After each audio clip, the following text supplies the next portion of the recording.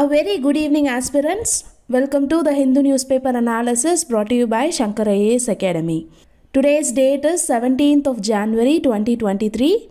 Displayed here are the list of news articles that we are going to discuss today. So, without much delay, let us get into the first news article discussion.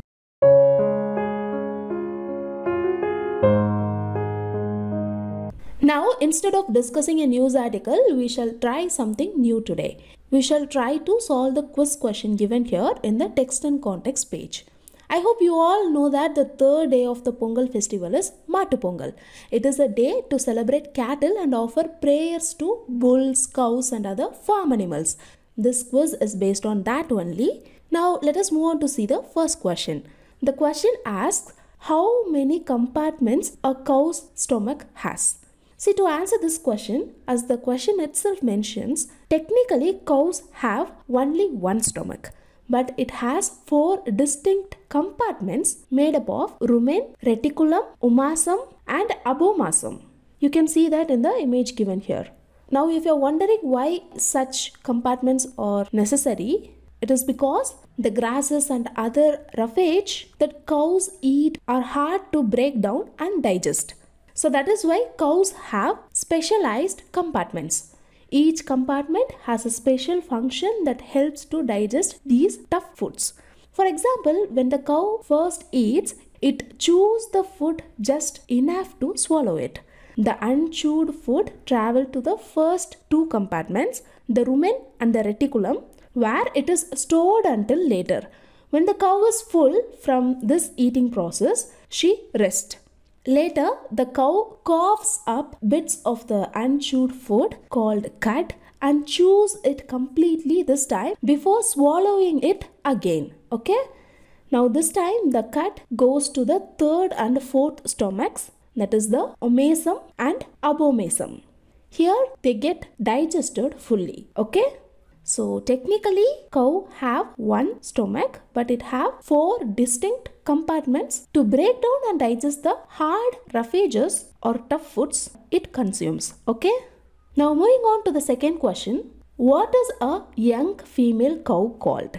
See, a female calf is sometimes called a heifer calf and a male a bull calf. Here, a heifer is a female that has not had any offspring. Okay? See, I hope you all know that cows can only produce milk once they have given birth to a calf. A cow's pregnancy lasts about 9 months and 10 days. So, if their average lifespan of a cow or buffalo is 15 to 25 years and they generally give birth to their first calf in about 2 years, then a dairy cow can give birth from 1 to 20 calves in her lifetime depending upon its productivity. Okay? So here a young female cow that has not had any offspring is called heifer. So now moving on to the next question. Which state in India is the largest producer of milk? See according to Ministry of Food Processing Industry, Uttar Pradesh is the highest milk producing state in India. They contribute around 18% to the total milk production. They are followed by Rajasthan 11%, Andhra Pradesh 10%, Gujarat 8%, and Punjab 7%. So now moving on to the next question. What common name is used to describe the group of nomadic tribal people found primarily in Tamil Nadu and Kerala who historically made a living by traveling from place to place with a decorated bull, entertaining and fortune telling using their cattle. See, the answer to this is Boom Boom Matakaran or Adiyan or Poo Idayar. See, they are a group of nomadic tribal people found primarily in Tamil Nadu and Kerala states of India. They historically made a living by traveling from place to place with a decorated bull, entertaining and fortune telling using what is generally termed as boom boom ox. Okay? So, this is how a boom boom ox looks like. Now, moving on to the final question How many teeth does a cow have? See, a mature animal have 32 permanent or adult teeth. Okay? So, I hope you got an opportunity to know something new through this quiz discussion. So, these new facts. Now, let us move on to the next news article discussion. Now look at this editorial article. This editorial article is also about the governor incident in Tamil Nadu which we discussed in our 13th January Hindu newspaper analysis. Before getting into the discussion, a little heads up. You guys are right. It is Article 201 under which the governor reserves the bill for the consideration of the president and not Article 200. Now, coming back, this editorial article says that the Tamil Nadu governor skipping a part of the governor's address is against the constitution. The editorial also highlights various instances where the governor has overextended his position and how this goes against the intention of the constitution makers. So, this is about the article given here. In this discussion, we'll discuss the points mentioned in the article in detail. Okay. Before that, the syllabus relevant to this article is highlighted here for your reference. You can go through it. First, let us brush up the event that transpired in the state of Tamil Nadu. See, Governor of Tamil Nadu, R.N. Ravi, skipped certain portions of the text of his customary address to the state's legislature, including reference to the Dravidian model of governance. In addition to skipping them, he made some other remarks as well. As a result, the Chief Minister of the state, M.K. Stalin, moved a resolution to exclude from the House records whatever the governor spoke outside the state drafted speech. Even before the national anthem was played, Governor R. N. Ravi reacted to this in an unprecedented manner by staging a walkout from the house in protest. So, this is what happened in the Tamil Nadu State Assembly. Here, I mentioned about the term called the Dravidian model, right? So, what does it actually mean? Let me clarify it first before getting into the contents of the article. See, the Dravidian model, like any other development model, is about peace, progress, and prosperity. The thing about the Dravidian model is that peace, progress, and prosperity are achieved through the principles of social justice, principle of equity, and rational thought. The Dravidian model also focuses on democratizing public spaces like government offices and the legislature for the wider participation and representation of the public. So, through this, the government in the Dravidian model aims to improve the access to quality education, quality healthcare, and quality nutrition to everyone in the society. The Dravidian model also focuses on balancing industrial growth along with agriculture. So, this is the basics about the Dravidian model. Now, what about the origin of this model? See, it was tracked back to the non Brahmin movement in Madras state before independence. The non Brahmin movement culminated in the formation of the South Indian Liberal Federation or the Justice Party. The Justice Party focused on social justice. The party came to power after the Montagu Chelmsford reforms of 1919. After coming to power, they passed the communal GO in 1921 to increase the proportion of posts held in administration by the non Brahmins. This move of the Justice Party practically fueled the Dravidian model. Although this can be termed as the origin, the proper shape to the Dravidian model was provided by Mr. E. V. Ramasamy, who is famously called Periyar. Periyar expanded the scope of the Dravidian model. He focused on the upliftment of all the disadvantaged sections of the society like women, STs and SCs, physically challenged and the poor. So, in the present context, the Dravidian model focuses on uplifting all the disadvantaged sections of society and creating a level playing field in access to government services, education, and health. Finally, we can conclude that the Dravidian model is not about equality but about equity and social justice. So, in the pursuit of the Dravidian model, the government of Tamil Nadu took up various welfare schemes that have yielded success for Tamil Nadu, and these are also replicated nationwide.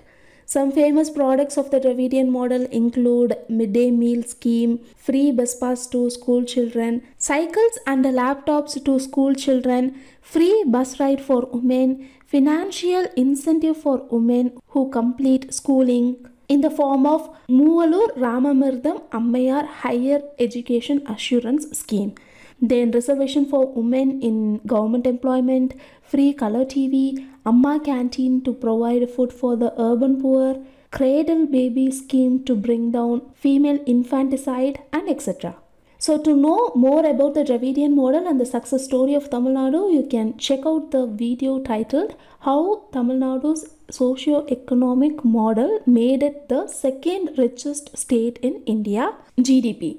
See, it is a case study which was uploaded by the Think School YouTube channel some three weeks ago. So, you can just watch it. So, from our discussion until now, the achievements of Tamil Nadu is mainly due to its pursuit of the Dravidian model. So naturally, both the people of Tamil Nadu and the government of Tamil Nadu hold it in high regard.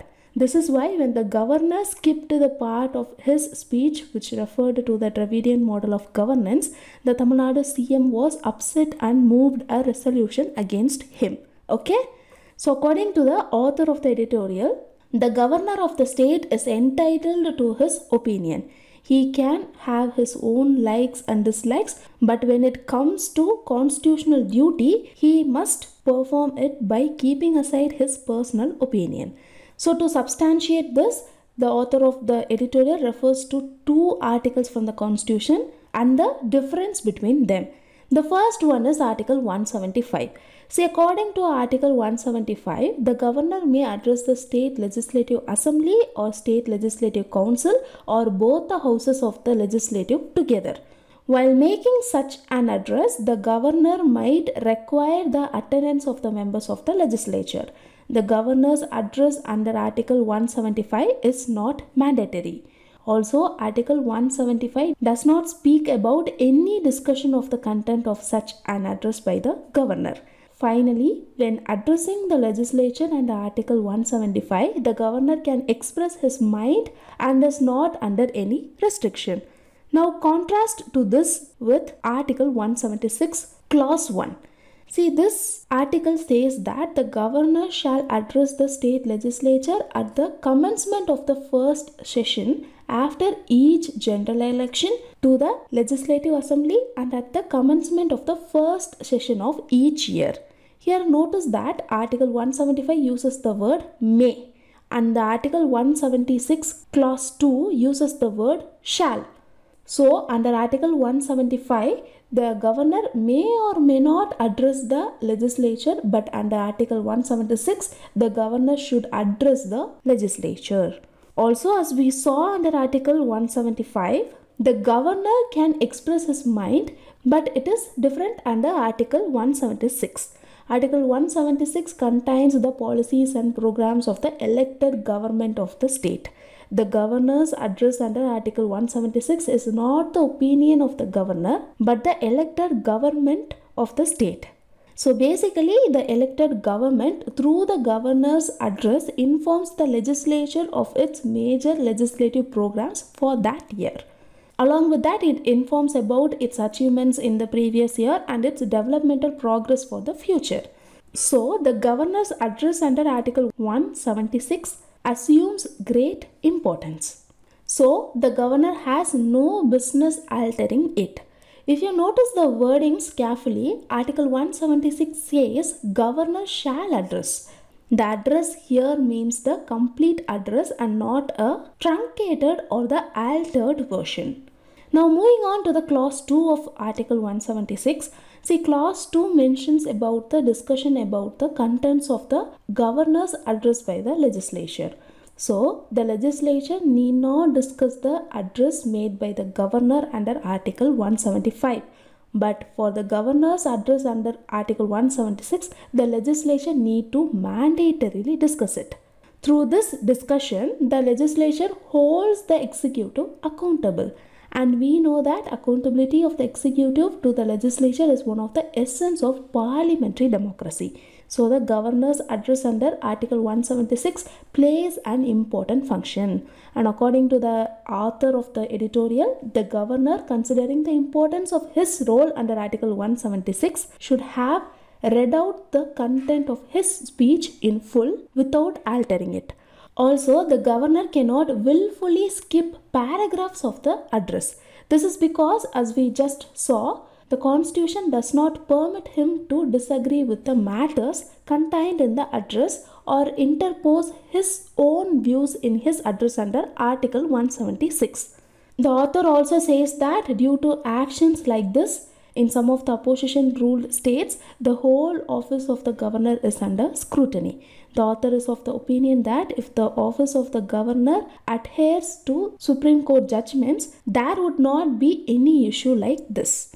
Here he mentions two Supreme Court judgments the Shamsher Singh case of 1974 and the Nabam Rebia case of 2016. In both these cases, the Supreme Court mentioned that the governors can act only on the aid and advice of the Council of Ministers and cannot exercise any executive powers independently. The court also said that the governor does not have overriding authority over the elected representatives. Finally, the author concluded the editorial by quoting Dr. B.R. Ambedkar. In the Constituent Assembly, Dr. Ambedkar said that governor should be a purely constitutional governor with no power of interference in the administration of the province. So, the governor of India must follow the spirit of the constitution makers and prevent further conflicts with the state governments. Okay? So, this is all regarding this news article discussion. Since this is an evergreen topic, the conflict between governor and the state government will always be in the news. So, we can always expect a question regarding this in our examination. So, note down all the points that we just discussed. It is very important. Okay? So with these learned points, now let us move on to the next news article discussion. Now for our next discussion, let us take up this news article. It says that according to Mr. P. Sri Kumar, ISRO is yet to receive approval from the Union government for the Venus mission. Know that he is the advisor to ISRO's space science program. So he is saying that due to the delay in approval, the mission might get postponed to 2031 and this is the crux of the news article given here. So in this context, let us see what is this Venus mission of ISRO and some of the important points mentioned in the news article. First of all, know that ISRO's Venus mission is called as Shukrayaan 1. This Shukrayaan is an orbiter I hope you all know about an orbiter. An orbiter is a spacecraft designed to orbit a celestial body without landing on its surface. The spacecraft will contain a synthetic aperture radar and a ground penetrating radar. These radars are used to study the atmosphere and subsurface of Venus. Okay? And we also know that Venus is covered with sulfuric acid clouds, which makes the visible observations impossible, right? So the radars will penetrate these clouds and gives information about the hottest planet in the solar system. Apart from the radars, it also contains the Venusian Neutrals Analyzer. This helps to study how charged particles from the sun interact with Venus's atmosphere. So this is about the mission and its components. Now let us see how it will be launched. See, the equipments will be carried by the GSLV Mark II spaceship to investigate the Venusian environment. Initially, it was decided to launch the mission in 2023, but now it was expected to be launched in December 2024. Here you must think why the year 2024 was chosen. It is because during that time only Earth and Venus will be sufficiently aligned such that the orbiter can be placed in the Venus orbit with least amount of propellant. Okay? We call this as optimal launch windows and know that this optimal launch windows occurs once around every 19 months. So this is why ISRO has backup launch dates in 2026 and 2028 if it misses the 2024 opportunity. Okay. There are also even more optimal windows. This means that these windows will further reduce the amount of fuel required at liftoff. But this kind of optimal windows comes only around every 8 years. Okay. And this is exactly why in the article Mr. Sri Kumar said that if there is any delay then the mission will be postponed to 2031. He also said that US and European space agencies also have planned for Venus mission in 2031. The name of the Venus mission of US is Veritas and European Space Agency is Envision. Okay? So make note of all these points. there might be a prelims question based on these facts. That's all about this news article discussion. In this news article discussion, we saw in detail about Shukrayaan 1. Then we saw how it will be launched and why the year 2024 was chosen.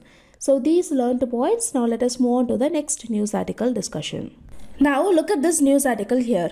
It says that MV Ganga Vilas, the world's longest river cruise, got stuck due to low water levels in the Ganga. But this was denied by the Inland Waterways Authority of India, IWAI. The authority is saying that the vessel will continue its journey irrespective of the delay. So, this is the crux of the news article given here. In this context, let us understand about IWAI from prelims perspective. First of all, you should understand the need for such an authority. See, India has about 14,500 km of navigable waterways. This comprises rivers, canals, backwaters, creeks, and etc. About 55 million tons of cargo is being moved annually by Inland Water Transport, that is IWT. So, to develop and regulate inland waterways for shipping and navigation, Inland Waterways Authority of India, that is IWAI, was established on 27th October 1986. It was constituted as per the IWAI Act 1985. Okay. Know that the head office of the authority is at Noida. The authority also has its regional offices at Patna, Kolkata, Guwahati, and Kochi. Now let us see about its composition. See, the authority consists of a chairman, a vice chairman, not more than three full time members, and not more than three part time members. As per the IWAI Act 1985, they all are appointed by the central government. I hope now you could understand the purpose of this authority. Now, finally, let us conclude this news article discussion by seeing about the functions of the authority. See, the functions of the authority are classified into two categories. One is its functions regarding to National Waterways NW. See, the National Waterways Act 2016 list the different national waterways in India. Go and see the act and read about the different national ways in India. Here, remember, you need not memorize everything. When it comes to national ways, the functions of the authority includes survey, navigation, infrastructure and regulation, fairway development, pilotage, coordination of inland water transport with other modes of transport. Okay?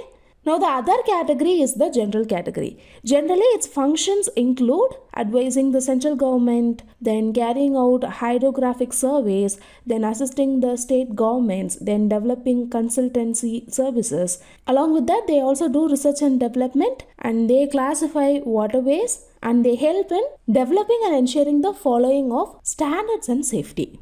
So, these are all some of the important points that you have to remember about IWAI or Inland Waterways Authority of India. So these learned points. Now let us move on to the next news article discussion. Now look at this news article. It talks about an app called Chat GPT. If you have watched our newspaper analysis on 9th January 2023, we would have discussed about something called as the generative AI. To get a holistic understanding on this topic, you can refer to that video as well. See, nowadays, artificial intelligence related articles are appearing frequently in the news. So, it becomes important for you to study this topic extensively. In this particular article, the author talks about Chat GPT. Here, Chat GPT means Chat Generative Pre-trained Transformer. And he also explains how it can be used for purposes for which it is not intended for. Okay, so with this note, we'll start the discussion. Have a look at the syllabus for this news article discussion. It is important from both your prelims and mains perspective. Okay, first we will try to understand about this particular application Chat GPT. See, basically, it is a question answering artificial intelligence developed by OpenAI. Here, OpenAI is a company. Okay. So it answers complex questions conversationally. So what is so different with this app? You may think we use chatbox commonly nowadays, but this particular app is trying to learn what humans mean when they ask a question. It has the ability to provide human quality responses. It is not the only thing it can do. To understand what it can do, you should understand something called LLM. LLM means large language model. See, large language models, that is, LLMs, are artificial intelligence tools that can read, summarize, and translate text. Most importantly, it can predict future words in a sentence like autocomplete, but at a mind bending scale. Now, look at this image. A particular website is designed to generate automatic reviews about movies when we give small prompt about the movie. For example, I have fed in this data previously. That is, the movie is not at all nice in a negative way. Now, when I type in this prompt, I love this movie, the application based on the earlier data I have fed in understands that love means a positive word. So it can generate a positive review for the movie with the help of small prompts that I give about the movie. Okay? The reader will not know if a person has written the review or a bot has written it. So basically, LLM generates sentences that are very similar to how humans talk and write. This ability allows them to write paragraphs and entire pages of content.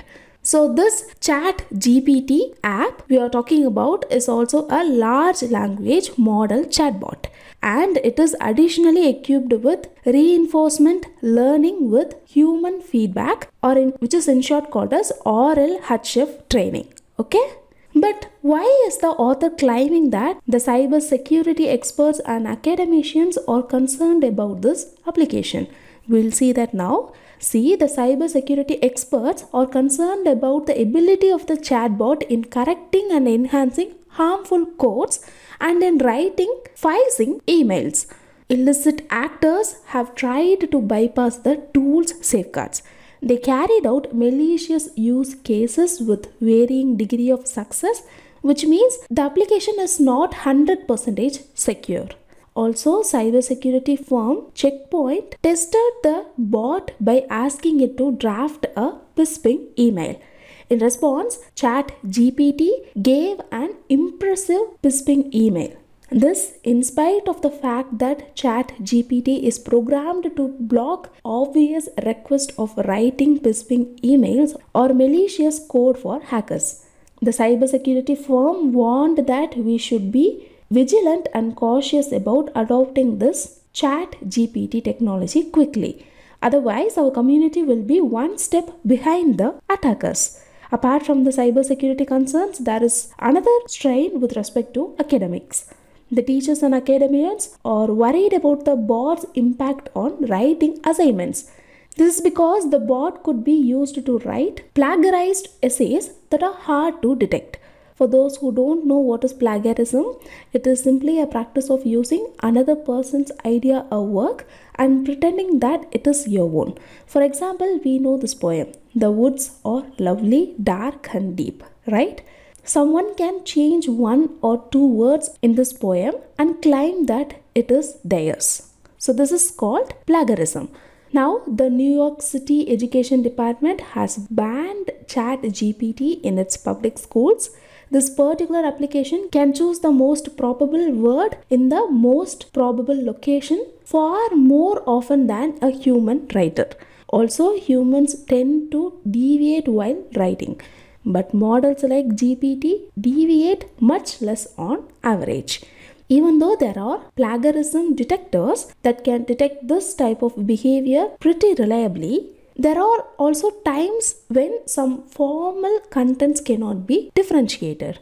Some formal contents of the nature that both human and the app write similar content. So, in such cases, we have to come up with new ways to detect plagiarism. What experts suggest is that teachers have to come up with innovative projects for students, like, for example, asking them to write their own experiences. Such a thing could not be done by the chat GPT, right? Apart from these two threads mentioned in the article, these kinds of tools can be used to create content for malicious purpose as well. Here, such malicious purposes includes deepfakes, disinformation, and propaganda. So I hope you could learn something new from this news article discussion. So in this news article discussion, we saw in detail about an artificial intelligence application, Chat GPT. So these learned points. Now let us move on to the next news article discussion. Now take a look at this news article. It says that RBI has proposed a framework for adoption of an expected loss based approach for provisioning by banks in India. And as per the article, banks would be allowed to design and implement their own models for measuring expected credit losses. So, this is the crux of the news article given here. In this context, let us understand about the credit loss provisioning by banks. So, what is credit loss provisioning or loan loss provisioning? See, a loan loss provision is an expense that is set aside for defaulted loans. So, a loan loss provision is a cash reserve created by bank to cover the problematic loans. Here, problematic loans means loans in which the borrowers will not pay back the loan money to the banks. So, in this case, the banks will set aside some money to cover a portion or the entire outstanding balance. Now, where will the banks get this money to maintain as a reserve? See, banks will set aside a portion of the expected loan repayments from all loans to cover the losses either completely or partially. Now, can you understand? Let me explain it again. Banks will lend money to different types of consumers like individual consumer, small scale businesses and large corporations and they lend money for different reasons. And the consumers will pay back the loan money to the bank with some interest right? But sometimes the consumers will not pay back the money. So the unpaid money is a loss to the bank right? So here the bank will set aside some money from the loans from which they got the money back to cover the losses of unpaid loans. This is only called as loan loss provisioning. Okay and this cash reserve is maintained as an expenditure in the income statement of a bank. You may think that it is a reserve for the bank. No, think about it. The banks are using it to cover the losses incurred by the default loans. So it is an expenditure for the bank. Okay? Know that till now banks followed incurred loss based approach for the credit loss provisioning. But now RBI has proposed to adopt an expected loss based approach for provisioning. The key requirement under the proposed framework is to classify financial assets into one of the three categories stage 1, stage 2, and stage 3. The assets are categorized under these three stages depending upon the assessed credit losses at the time of initial recognition and based on the requirements at each stage the banks are required to make necessary loan loss provisions. I have a homework for you. Read about three stages of credit loss provisioning. Now that's all about this news article discussion. In this news article discussion we saw in detail about credit loss provisioning or loan loss provisioning. The question displayed here is the mains practice question for you today. You can go through the question write an answer and post it in the comment section. So with this we came to the end of the news article discussion. If you like the video, hit like, do comment and don't forget to subscribe to Shankar IAS Academy YouTube channel. Now thank you for listening.